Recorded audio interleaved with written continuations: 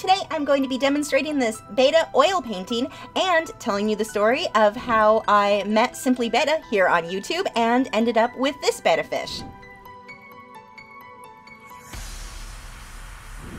If you are not interested in story time, you can skip ahead to this point in the video, right where the painting starts.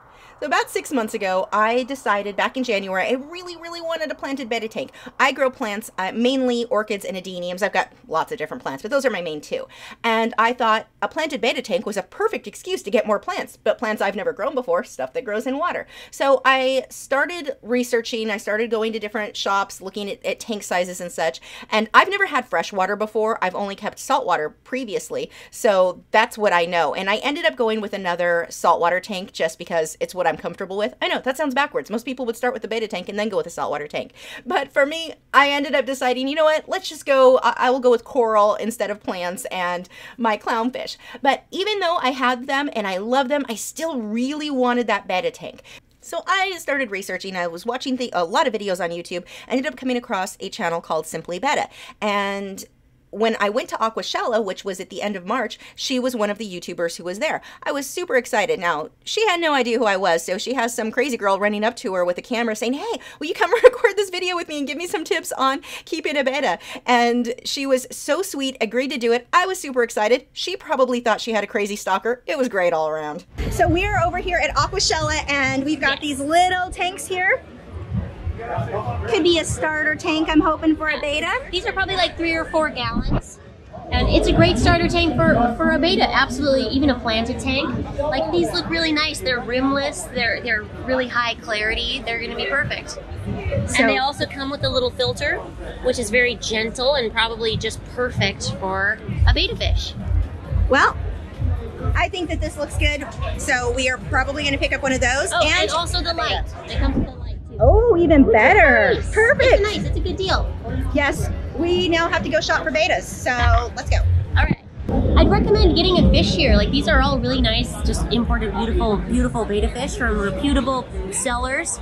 And I definitely recommend going this route maybe versus going to like a big box store um, to get fish. These are all really nice, kind of hand selected fish. And I guess if you had to choose, like, oh, should I get one now or should I get one maybe later someday? Get one now! Like, look how amazing these are.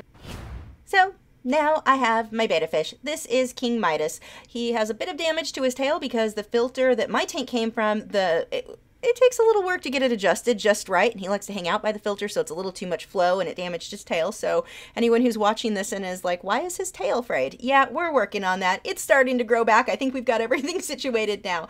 I've also got a couple of plants at Aquashella from Dustin's Fish Tanks. He gave me my first two live aquatic plants. They are beautiful. They are taking over like crazy. And actually, I recorded this footage a couple of weeks ago.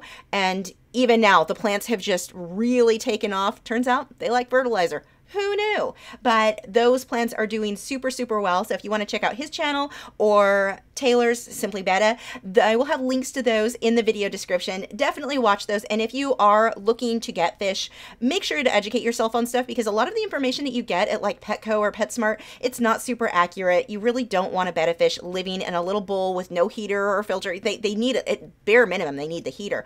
I already can see the comments now. I'm going to have people say, but I've had a betta living in a little bowl for three years and it's fine. Yeah, well, I can lock my dog in the closet and if I throw some food and water in there for it, it can live in the, the closet for three years as well. That doesn't mean it's the life that it should have. So definitely research what kind of situation or what sort of tank and environment that is going to keep that fish as healthy and happy as possible. So my channel, it's it's Simply beta or Simply Betta. Uh, you can come check me out. I talk about, I'm obsessed with, with beta fish. That's what I do. Now on to today's painting. If you were supporters over on Patreon, make sure to head over. I've got the two-hour version of this video available for you now. If you are unfamiliar with Patreon, for as little as $4 a month, you get access to all of my over 150 longer one to two hour, sometimes three hour long tutorials, and a new one every single week. I work in multiple mediums. If you're interested in seeing what type of videos I have available, you can head over and check out my Patreon library. You don't have to sign up to look at that. And you also get access to a free two hour long colored pencil tutorial just for checking that out. So that gives you a better idea if Patreon is going to be a fit for you. The underpainting here is being done on the live stream or it's from the live stream, so you can watch this in real time. You're going to see my hands waving around randomly. I talk with my hands, and I was doing a lot of talking because it was the live stream. So again, you can head over. I'll have a card pop up. You can check that out. But I'm starting here with light raw umber, raw umber, and unbleached titanium white for my entire background. And by doing this in these basic tones, I'm going to only have to worry about my values. Are my lights light enough? My darks dark enough? And of course, getting general details in. I'm going to come back later and clean stuff up, but I can get things generally blocked in and it's going to make the whole process so, so much easier. If you are finding that you have a hard time with color when you're painting, whether you're using acrylics or oils or really anything you can do this with, if you're having a hard time, paint it with this these two tones, the Grisaille underpainting. You can do it just with black and white. You can do it with brown tones like I'm doing here and the light raw umber, which is more of a gold. But by simplifying this, I don't have to worry about my colors. It doesn't matter if I chose yellow instead of orange or anything like that. I will worry about that once I have the hard part or what I consider the hard part, my values all blocked in. So all I need here, light's light enough, dark's dark enough, and a general idea of where the details are. Now, sometimes when I paint a Grisaille underpainting like this, I'll spend two or three days just on the underpainting, and then I will only need one or two days for the color. Now, this design was super simple, so I was able to do the entire underpainting just with the, the first day here. And what I like to do is take my reference photo If I'm going to do things where I do a painting in black and white first or with brown tones or however you want to do it. I will make my painting black and white or my reference photo black and white to simplify things. For those of you over on Patreon, you have access to this reference photo, so make sure to head over and check that out if you wanted to paint this guy.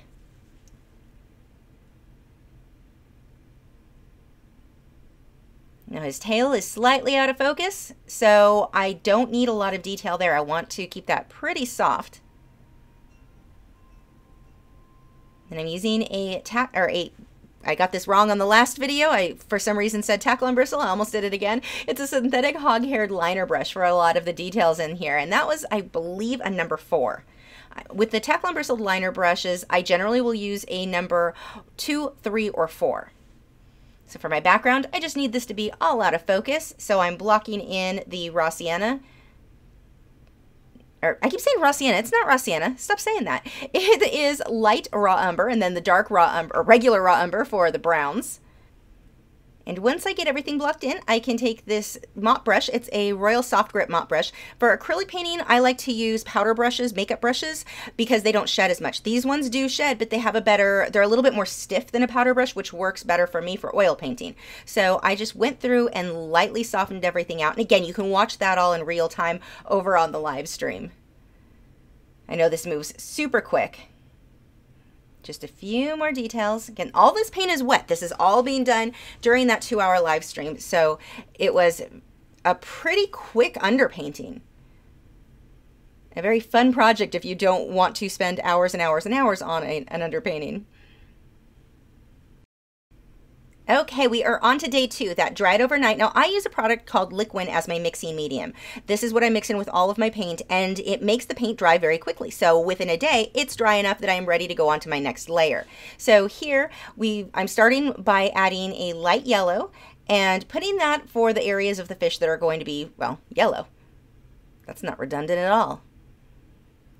And normally I like to show my palette as I paint so you can see how I'm mixing things, but in this case I was having some computer problems and it ate some of my files. Something went terribly wrong.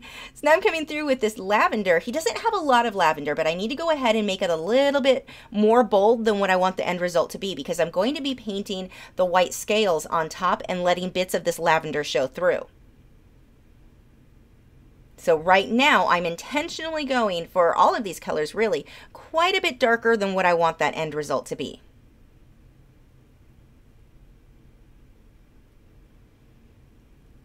Now, as you're painting, it's normal to feel like you, you hit a layer and it just doesn't look right. You're not happy with it. It doesn't look like your reference photo. Just keep layering. And in this case, it, it will get easier the more you paint because you'll know that that's what it's supposed to look like at that layer. But here, this looks terrible, but this is where I need it to be for this layer in order to make my plan with the white paint later on work right.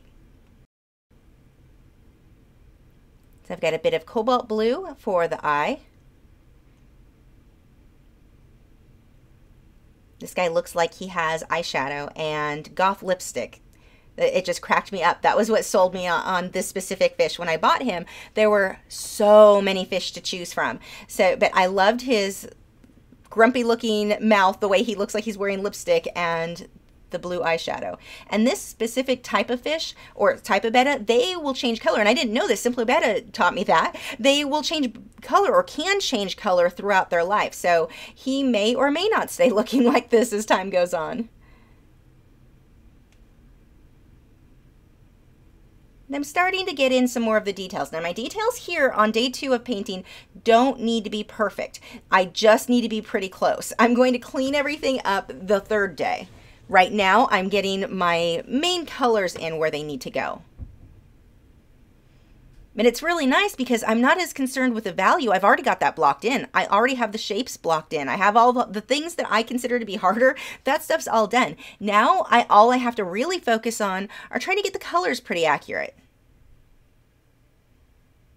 So it, it, sort of simplifies. It takes, when you paint like this over the brown tones, it takes away some of the, the trouble that you may end up with with painting, especially in oils, of mixing color and ending up with mud. That's one of the complaints that you'll often hear from people about painting in oils is that they keep making mud. And why this happens is that you they don't let stop and let it dry where they should. With oils, they stay wet for so long, and depending on the mixing medium you you are using, it could stay wet for two weeks. So with this, again, mine because of being Liquin, it, it dries overnight. But if I paint, keep adding wet paint on top of wet paint on top of wet paint, at some point I just end up creating a muddy mess. I don't have definite blues or yellows or lavenders. It just all mixes together. So you have to get to a point where you realize, okay, I'm starting to create mud.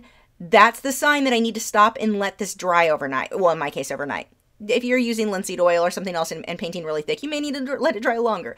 But in my case, I know I just need to let it dry overnight. When things start smudging more than what I want them to and it starts to get a little bit harder to control, just stop, let it dry, come back the next day.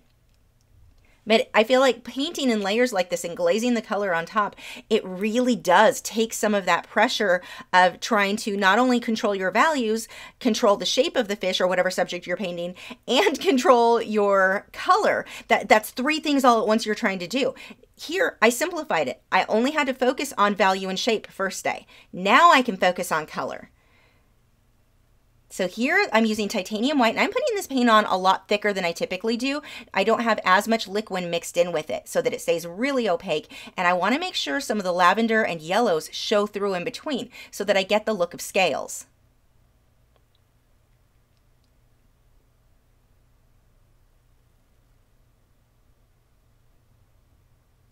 And I have to keep reloading that brush and getting more of the thicker white paint on it. Otherwise, I just start blending in with the colors that are already there. This is noticeably thicker than, than the other paint colors.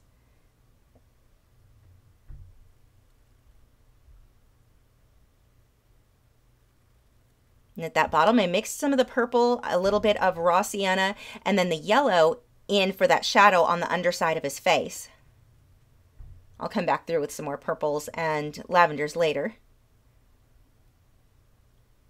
And for his fin, a lot of the shading is going to be done with purples and violets and oranges. Watch when you're painting yellows. Don't jump to think or jump straight to black. It's really easy to think, okay, shadow, black. Obviously, black would be the choice.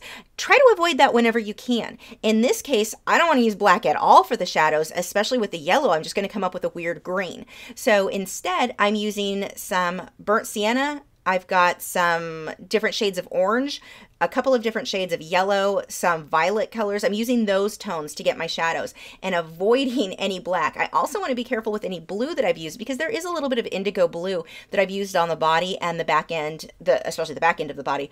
But I don't want to mix that too much into the, the yellow or I'm going to end up with green. So I've got to be careful there. And again, as we move out away from his face, that's all going to become more and more out of focus. So not a lot of detail here. I think I do want to paint another one eventually where he is more in detail. Here, I used my macro lens to take the reference photo and really focused on his face because when I got him, his fins, he was spending way too much time with the filter and it took me a while to really get that filter adjusted so that it wouldn't damage his fins. He, he kept yeah, they were just getting damaged. So now they're starting to grow back. But at the time that I took this photo, I really didn't want to focus on the damaged fins. So I went ahead and just really zoomed in on his face and let the ta his tail just blur out.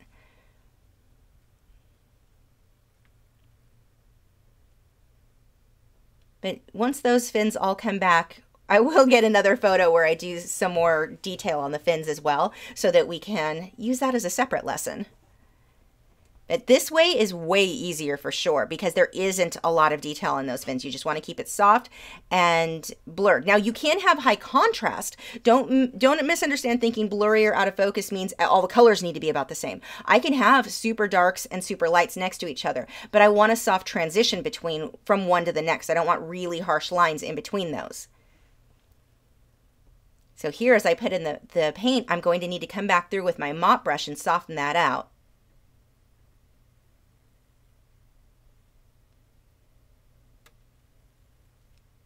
Right now it's definitely too harsh, but this paint is all still wet, so it's not a problem to blend it out.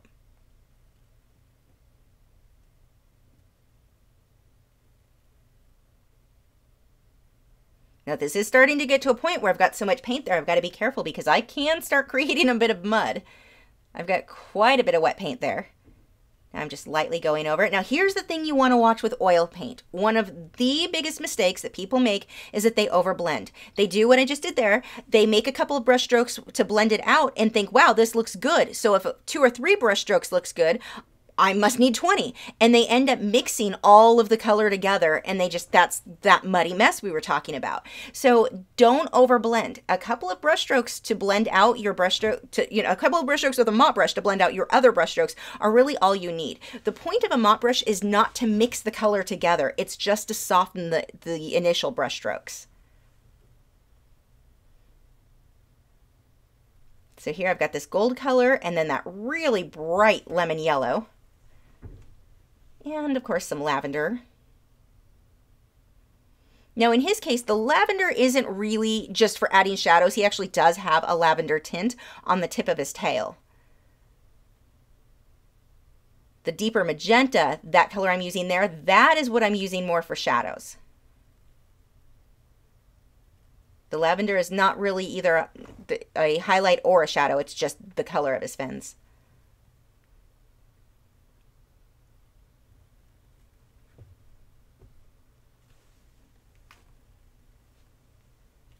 Now this is a little bit too blurry. I'm going to come back through and define that a bit more later on.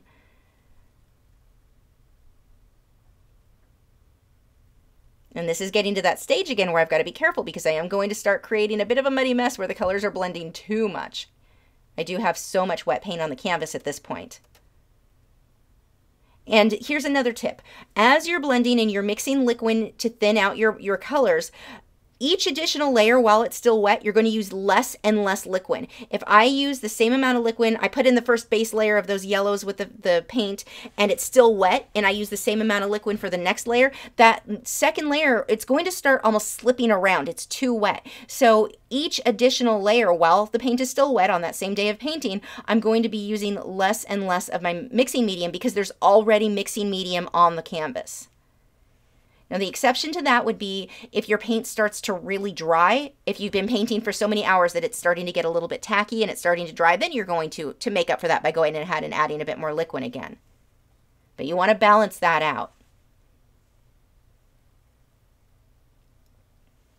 So here with the green, I'm using different, different colors of lemon yellow mixed with a light, light green. I've got some sap green in there chromium of oxide is a color I've got in there. I think there's a one called tree green or something like that. It doesn't really matter. Just grab a bunch of different colors of green and get some variation. And I am going to add a bunch of indigo for this dark, dark corner on the bottom right-hand side. And there's that indigo. It looks like black. It's not. Here, I'm just using indigo.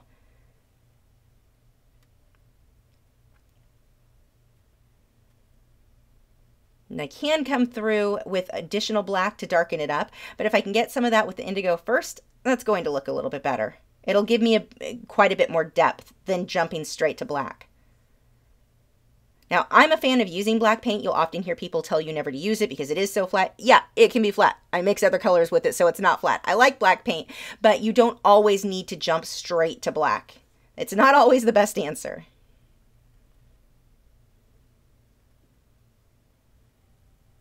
And see how I'm blending the background just a bit in with this tail there, just to soften that out.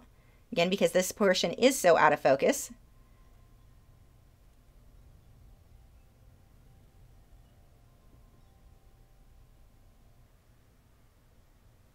Just hyping up my contrast a bit more on the tail.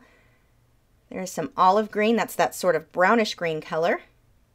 And that blends into the sap green, which is going to be a brighter green.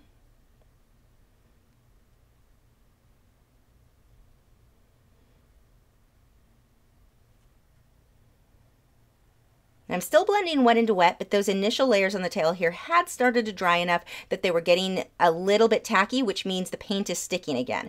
I had to let it set for a bit before I was able to continue on because it was getting to that slippery stage I was talking about earlier where there was just too much paint on there. Depending on the mixing medium you're using, it may or may not start to get tacky the same day within that time your painting period there.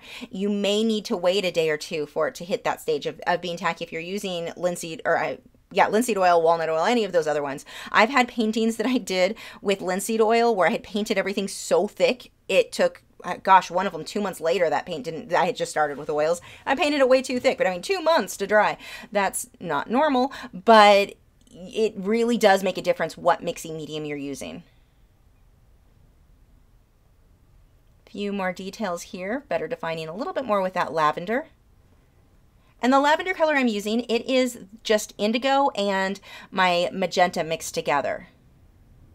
I don't actually have a color called lavender. I'm sure they make it. I don't own one.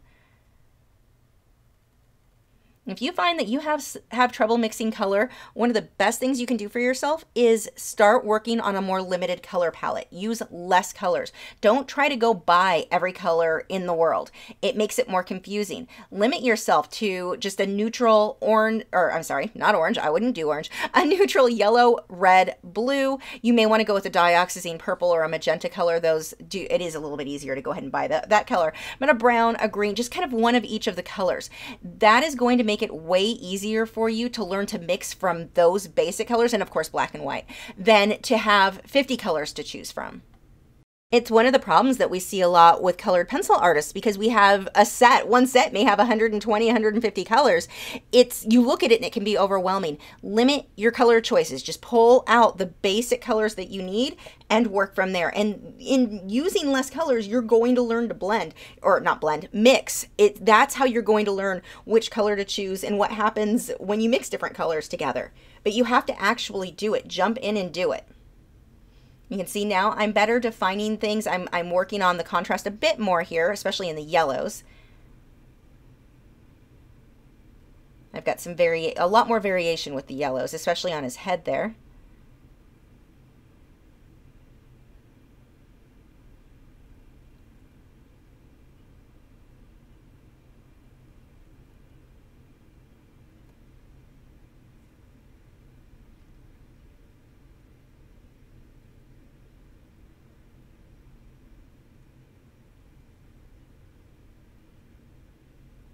One of the things that you want to watch in your paintings, which area needs to have a harsh line versus which area needs to have a soft line. One of the problems that a lot of people or a lot of newer artists have when they start, they make every single line harsh and then don't understand why it doesn't look realistic. Some of your lines do need to be softened out. Pay attention to that on your reference photo. So here, my harsher lines are going to be around his head where it's very in focus.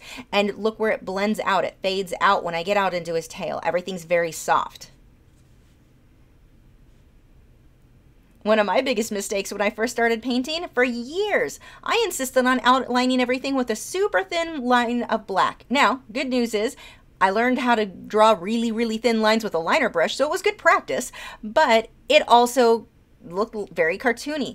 So I had to learn not to outline everything. Like, I mean, ever, all of my edges were so harsh that everything was uh, literally outlined. That doesn't, that, that's not a good idea. Don't do that. And watch your contrast. So in this case, let's say, is his face blending in too much with the yellow of his tail? Then maybe I need to darken the yellow of his tail a little bit more, even if that's not what's on his reference photo. As an artist, I, you know, I'm being an artist. I'm not being a photographer there. I can go through and just darken that up, which will push the white of his face forward. But do that instead of going through and outlining things, at least when you're working towards realism.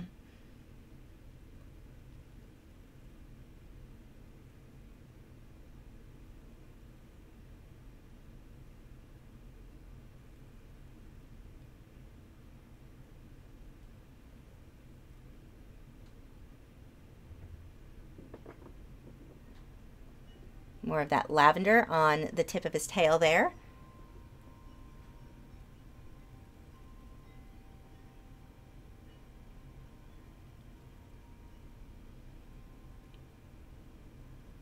But see how the white, it looks like scales now.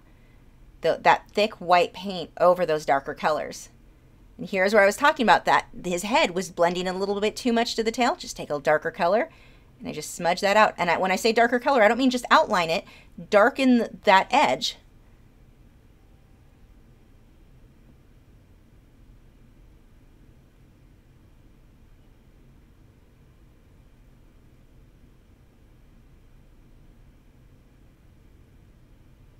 And when I added that darker edge, I added it along the top of his head and I pulled it away from his face. I added that shadow out towards his fin. So that left that crisp line where the top or the edge of his face was there. There is my finished painting of my betta fish.